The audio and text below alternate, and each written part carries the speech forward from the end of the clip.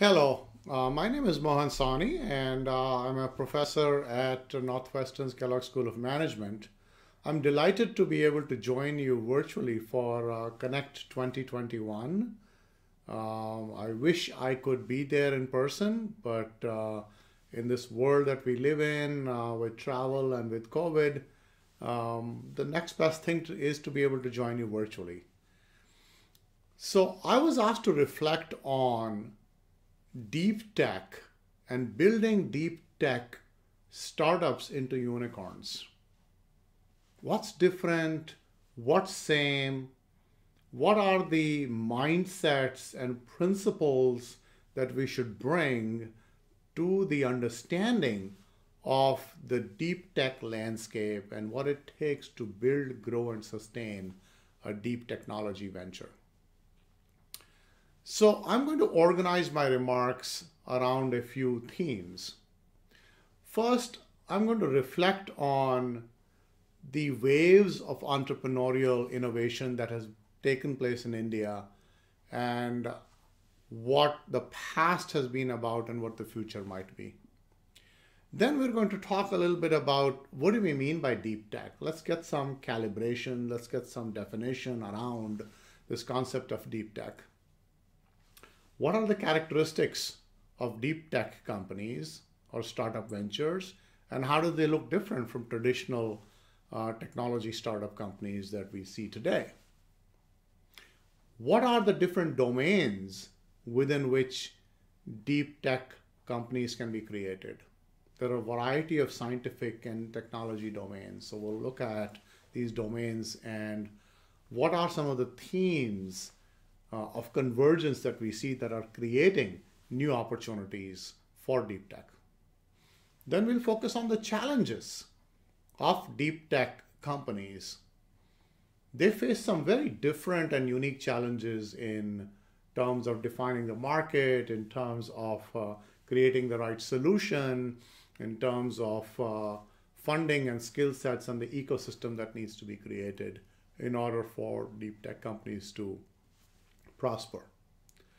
And then we will look a little bit more closely at the deep tech ecosystem in India. It's still nascent, it's still emerging, uh, but why this might be a good time uh, for us to start focusing, both investors, the government, and uh, uh entrepreneurs to be start focusing on these domains and what the future might hold.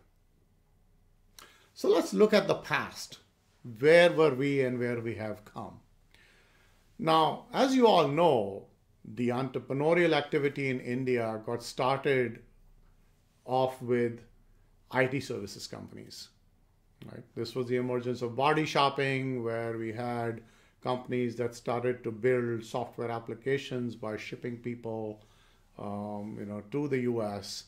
and uh, working on software development uh, using the global delivery model eventually. And these were, of course, the big Indian majors today, the Wipros and the Infosys and the TCS and the Cognizants and the, uh, you know, the, the, these firms. So that was sort of the first wave of entrepreneurial activity, focusing on services, focusing on global customers. Then around the, about 15 years ago, you know, in the early to mid 2000s, we started to see the emergence of a next category of companies, of entrepreneurial ventures, and these were largely e commerce companies. And these e commerce companies took the business models that were well established in the United States, that were uh, successful, the, you know, the Amazons and the E Trades and the eBays of the world, and they tried to replicate that for the Indian context. Now, what was interesting about these these these entities were that they, for the first time, really focused on the Indian customer and the Indian consumer, and uh, as opposed to the first wave of uh, the IT services startups that are really focused on the global market, they really were not looking at the domestic market. So we saw a lot of activity, and of course, came out out of that came Flipkart and Paytm and Amazon India, and a variety of other companies in, in, in, in a wide range of uh, e-commerce spaces, in financial services, in, uh, in e-learning, and, and, and so on. And of course, some, we have seen some major recent successes in the e-learning space, whether it's a Byju or Eruditus and uh, or, or, or, Upgrad or Simply Learning, um, or whether it is you know financial services companies, and we have started to see them now finally access the public markets also, as opposed to only relying on uh, uh, capital providers like Tiger Global and uh, SoftBank. So that was e-commerce.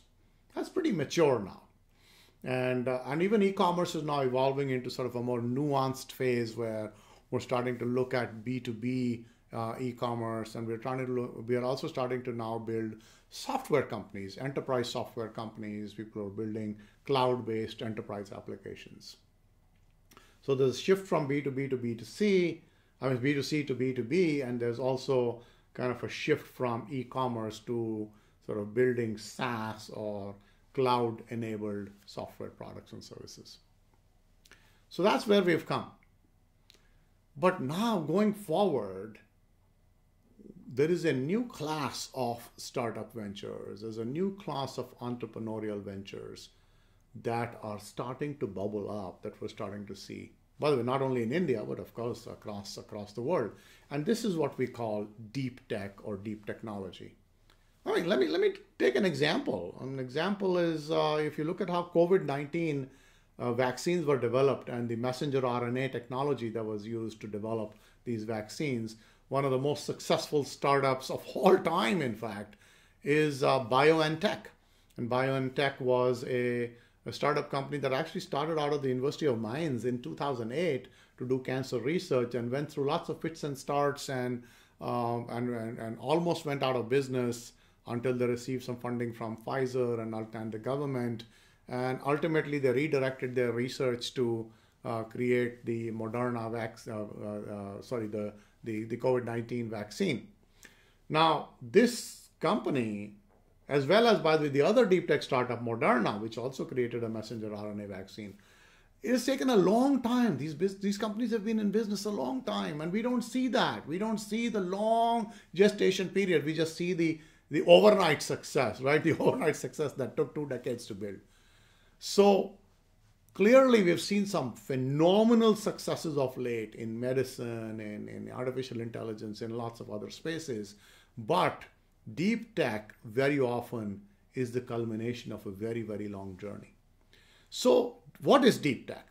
It actually is firms or ventures that really rely on fundamental advances in technology and they do groundbreaking scientific research in order to solve complex problems. So, deep tech ventures are defined by their visionary ambition, their focus on fundamental research, but at the same time, some pragmatism around commercial applications. So, as opposed to applying the technologies that exist deep tech companies actually come up with technological advances.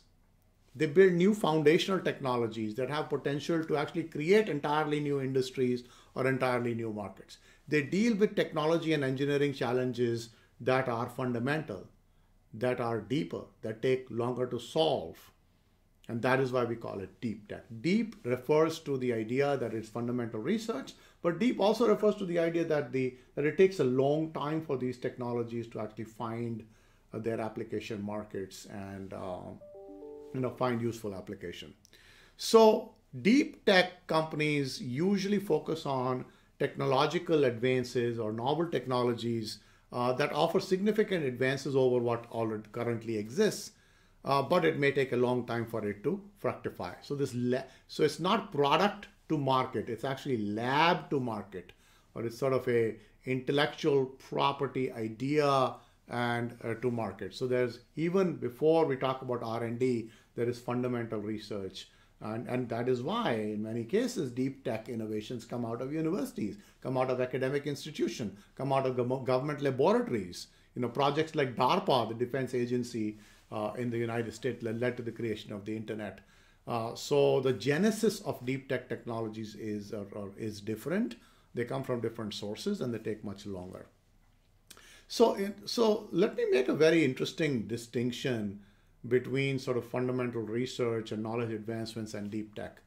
Uh, there was a fascinating model called the Pasteur model that was uh, created in 1997 uh, to describe uh, technology innovations or ventures on two dimensions. One dimension is is it fundamental advance in, in, in, in human knowledge or not?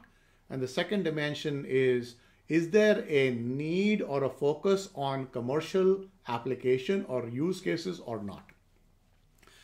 So there is a quadrant called the Bohr quadrant, named after Niels Bohr. And that quadrant is where it is a fundamental advance and there is really no attention given to the use case. Theoretical physics, you know, particle physics, quantum, uh, quantum mechanics, those are examples of that quadrant. But then there is the Edison quadrant, which is it's not a fundamental advance. It's more sort of a, an application of technologies that exist. And there is a very strong focus on the use case. So that's Thomas Edison, who was famous not for inventing stuff, but for applying stuff and making it actually commercially viable. But then there is that interesting quadrant of fundamental research, but a focus on application, a focus on the problem, a focus on the use case. That is what we call the Pasteur quadrant, after Louis Pasteur, who you know used fundamental research but used it to come up with some very practical application like pasteurization, right? So that is really what deep tech is about. While the advances are fundamental, the, the, the, the approach has to be pragmatic, the approach has to be focused on use cases. So let's look at sort of the characteristics of these deep tech companies. There are a few things that, that come to mind. First of all, deep tech ventures should be problem oriented, right? So they focus on the large and fundamental challenges that our society faces, whether it is in agriculture or climate change or education or healthcare or fundamental advances in material technologies that will make kind of the world a better place. So that's the first thing that a deep tech um, venture should be focused on a problem and a deep and fundamental problem. The second thing is that they need to look at technologies that are not yet mature, technologies that are nascent, that technologies that are emerging, scientific advances that are fundamental, uh, and it's not derivative, it's not incremental, it's not sustaining, it's usually a disruptive technologies. This might be advanced materials, this might be synthetic biology, this might be artificial intelligence, this might be quantum computing. So, and, and what is also interesting is that many deep technology ventures actually use a combination of these technologies, more than one advanced technology. So convergence of technologies in order to create their, their ventures. Another very interesting characteristic is that traditional but like the early stages of deep deep technology ventures really focuses mo- focus mostly on digital innovation. So today if you look at the deep tech landscape you know there's a lot of uh, emphasis on artificial intelligence and uh, machine learning uh, based uh, deep tech companies. But you know going forward it will not only be innovation based on bits but it will also be innovation based on atoms so a combination of bits and atoms, right? So for example, so they may be building a physical product. Look at vaccine research or synthetic biology, for instance. In fact, synthetic biology is the area where most of the investments have, uh, the largest investments in deep tech have gone, followed by artificial intelligence. And, uh, and the final interesting characteristic is that deep tech often relies on cross-organizational collaboration you know different forms of entities research labs coming together with universities coming together with the government coming together with venture capitalists coming together with entrepreneurs.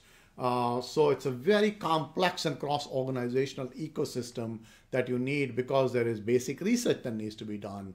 Uh, fundamental research needs to be supported and the funding models uh, for supporting this kind of research are quite different right? So there's a complexity and a cross disciplinary nature of the ecosystem.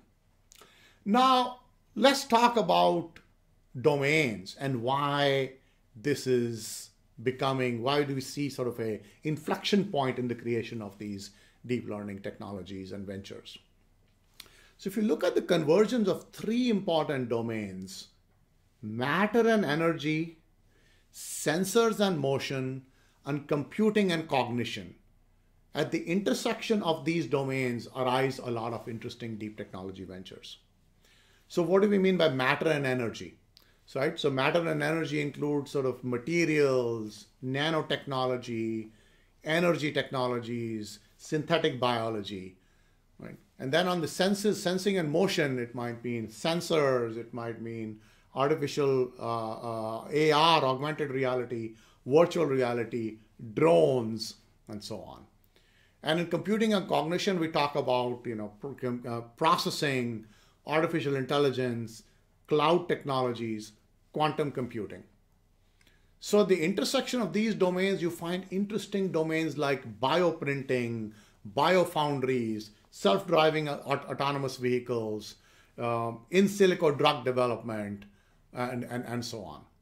So what is happening is that these domains, uh, powerful new technologies are emerging, right?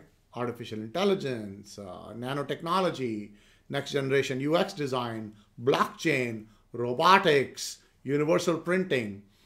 And in addition, the computing platforms continue to progress with Moore's law, right? So the data volume, artificial intelligence algorithms and their capacity, the cost of DNA sequencing, the cost of quantum computing, the cost of solar energy and renewable energy sources, all of these are exponentially declining. So on the one hand, technologies are emerging faster. On the other hand, the costs are declining exponentially. And this allows you to create innovative new solutions at cost points that were not possible before, right? So that is basically the reason that we see these particular um, the, the deep tech technologies start to come up with in, in terms of their critical mass. Now, let us now focus on the challenges that deep tech companies face. First of all, deep tech companies tend to be technology first they always start with the technological breakthrough, right? That's the fundamental difference between deep tech and say an Uber or you know an Ola or any of these Airbnb. So these companies start with a customer problem and work their way backwards to come up with a technology solution. So it's a problem first approach that conventional startups take. But deep tech companies take a technology first focus, right? So they come up with a technological breakthrough. So they, there's a novel technology, there's some intellectual property, just some PhD research or thesis work, and then you have to find real world problems you can solve. Let me give you an example of my own brother, Dr. Amar Sawhney, who uh, is a medical devices entrepreneur, and he has founded you know over 15 companies. He did his PhD thesis work in the University of Texas at Austin on biomaterials. So specifically creating cross-linked polymers that allow you to modify the surface tension between any two proper two, two surfaces. So that was his thesis work. It was a technology. Now, where, where could you apply this? So the first application that he found or he used was for OBGYN uh, for preventing post-operational adhesion and fibroid formation when women go through a C-section. But the same technology could be allowed to was was used by him later to create a product called DuraSeal, and that DuraSeal was a product that was created for sealing the the the, the dura uh, after a brain surgery. So when you put sutures on the brain, it's not uh, on the dura, it's not watertight. So this was a sealant that he created. He has since used that technology for uh, a whole variety of applications on different organs and has founded you know more than a dozen companies. So the idea here is that you come up with a novel technology a fundamental technology and then you have to find the use cases the applications for it. Consider a mate- another material technology kevlar. Kevlar was created by dupont many years ago. It was a strong light material one third the weight of steel but much stronger. So kevlar continues to find new use cases right? Of course it went into bulletproof jackets, it went into steel belted radial, replacement of steel belted radial tires. But now there are interesting new applications uh, that, that they continue to find, such as bulletproofing of cars in the aftermarket in Brazil, using Kevlar sheets to wrap bridge pillars to prevent the deterioration of bridges, kind of band aid for a bridge, and so on. So the challenge with the deep tech companies is that if you're not careful, you have a we have something called the SISP problem, solution in search of a problem, right? because you've come up with the, the, solution, you've come up with the technology, but finding the use case, finding the application, finding the end use markets is very challenging. Now, if you had started in reverse, when you started with a customer problem, you know that there's a customer, you know there's a use case because that's where you began with. Uber started with the problem that it is a pain in to get a taxi. The taxi experience is horrible. But when you come up with a fundamental material, a fundamental medical device, a fundamental technological breakthrough, there is no assurance that you're going to find a customer or a viable use case for it. So that's the first challenge for a deep tech company. So the other challenge is that the market doesn't exist. In many cases, you actually have to create entirely new markets. So there's a lot of education involved. Customers need to be educated about these markets, and you need to really figure out how you're going to actually create this entire new new way of thinking. There was I remember a company I worked with 25 years ago. It was called Illinois Superconductor. So they had created a superconducting filter that would be used in cellular base stations. And it was significantly more efficient than the existing conventional filters and it would allow you to increase the size of the uh, the range of a cell tower as, as well as to improve the call quality. However, using superconducting filters that were really needed to be cooled with liquid nitrogen down to a very, very low temperature required the creation of an entirely new business, entirely new uh, model. Similarly, think about quantum computing. Think about, you know, fundamental advances in materials uh, using nanotechnology. You need to educate the market and startup ventures are very, very uh, bad or are not adequately resourced for market education. That's why sometimes deep tech comes out of big companies or big companies will like IBM or you know AT&T and others can can can actually buy up these ventures and may need to because of the support that's needed. And by the way, related to that is the fact that funding is very difficult the gestation period for deep tech companies is very long. It might take 10 years, 15 years, 20 years, because as I like to say, you can't put invention on a schedule. It is not easy to sort of come up with a deep tech venture that you're going to monetize within a, a few years. Typically, the, the gestation period for a deep tech company can be 8 to 12 years as opposed to 3 to 5 years before you actually start to see revenues. So what that mean, means is you need patient capital. You need a lot of patient capital. You need you know, investors who have the long time horizon and conventional venture firms are not necessarily interested or are, you know, they want to see returns much faster. So you need a new class of investors who really have that patience, who are able to think ahead, who are able to wait, and who are giving. So, in fact, deep tech companies may need smaller infusions of capital, but over a longer period of time. And the final challenge is something that I alluded to earlier that the ecosystem is different.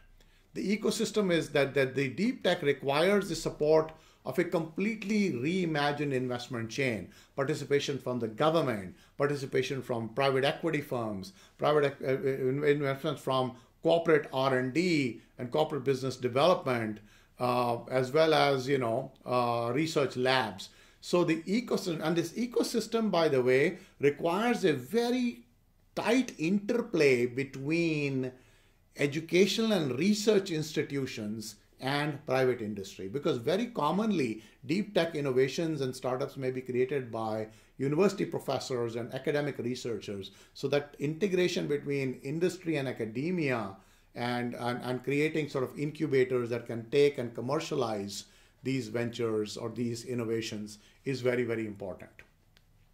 So focus is difficult, the market is difficult, you know, finding the solutions is difficult, funding challenges are, are, are different, and the ecosystem required is different.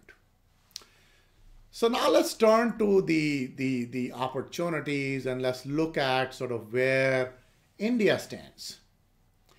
I think India has a unique set of advantages as an economy as we, look at deep tech. India is a hub for talent, scientific and engineering talent. You know, we produce a quarter of the, the, the, the world's engineers, and we produce a lot of PhDs and scientists. So deep tech require the raw material that deep tech requires is scientific and engineering talent so india has that india has that vantage point We also have some really good research institutions, right? The Indian Institute of Technology, where I come from, Indian Institute of Science, DRDO, which is working on defense technologies and so on. So, so there are some of these clusters that can be created around uh, these research institutions. So we've got that. We also have some very rich target problem domains. Healthcare, education, high value manufacturing, right? So there are these very, very large and complex problems, agriculture, that there are potential uh, applications that can sustain these deep tech startups. So the domestic market itself is quite massive. So there are a, uh, a lot of reasons for talent reasons, infrastructure being in place, the and the problem domains being very rich that I think India and Indian entrepreneurs have a uh, you know a, good vantage point and a competitive advantage as they think about uh, deep tech. So the positioning is there, the ingredients are in place. However, a few things need to change. You know, a few things need to change. We need to uh, you know come up with a new generation of venture capitalists. And these venture capitalists, uh, as I said, are people who are really not just chasing the latest fad, but have the patience to think through and wait for the next generation technologies uh, to find their, you know, uh, their, their day in the sun. So there are some specialist venture funds that are starting to emerge around this. And a good example of this, for instance, is the Bharat Innovation Fund. And the Bharat Innovation Fund has made investments in some very interesting uh, deep tech startup. Uh, for example, uh, a startup that is focused on mapping brain waves to decipher emotional responses, you know, which is Entropik Tech. There is a startup that is focused on condition monitoring for hard to reach assets. Um, there is Credit Vidya, which is an AI-based automation platform that uses very, um, you know, different signals and machine learning for loan underwriting. There is uh, VPhrase, which is an AI-based uh, natural language platform to provide business insights through automated reporting. Uh, there is an AR-enabled Steam uh, digital games platform called Play Shifu for young children. Uh, there is also a, a, company called FireCompass that they've invested in, which is an autonomous recon and attack platform that identifies possible attack vectors uh, through an automated red teaming platform, you know, for military applications. So we're starting to see these emergence of these focused ventures, but also focused investors. But this is not enough. The government also needs to shift its focus and create, you know, funds that will support the development of these. Think about what DARPA has been able to do in the United States. Think about what NIH has been able to do, the National Science Foundation has been able to do. These are organizations that fund fundamental research, that give grants, that don't have investments in the traditional sense. They're able to give debt capital, they're able to give grant capital. So we need that level of funding to come from the government to be able to support these uh, uh, organizations.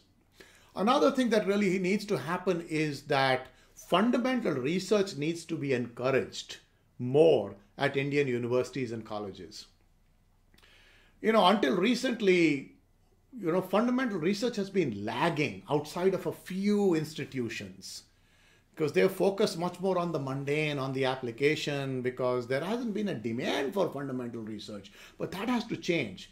We need to change the promotion system, the tenure system, the evaluation system so that faculty are incentivized to focus on fundamental research, to do deep research, uh, we need to build the Stanfords uh, of the world. We need to build the Carnegie Mellons of the world. We need to think about how we create these institutions that are focused on uh, fundamental research.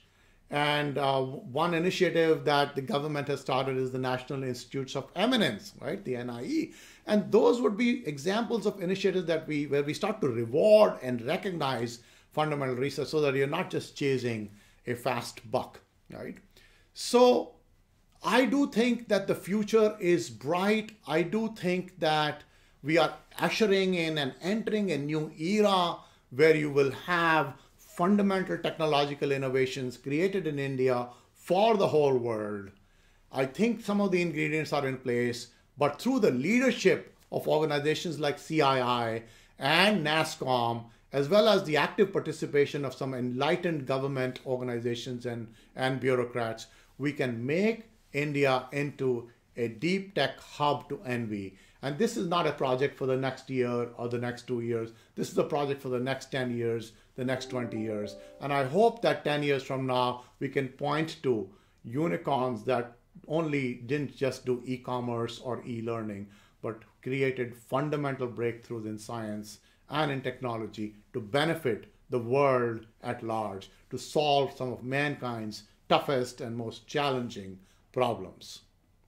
So I hope that you found these perspectives on what deep learning, tech, deep tech companies are, what are the challenges that they face, what are the characteristics, and what the, the Indian deep tech ecosystem currently looks like and the opportunities. I hope you found this conversation and this discussion to be useful. I wish you all the best for the uh, CII Connect uh, conference, and I hope to see you in person soon in India for a future event hosted by the CII. Again, thank you for giving me this opportunity and stay safe and be well.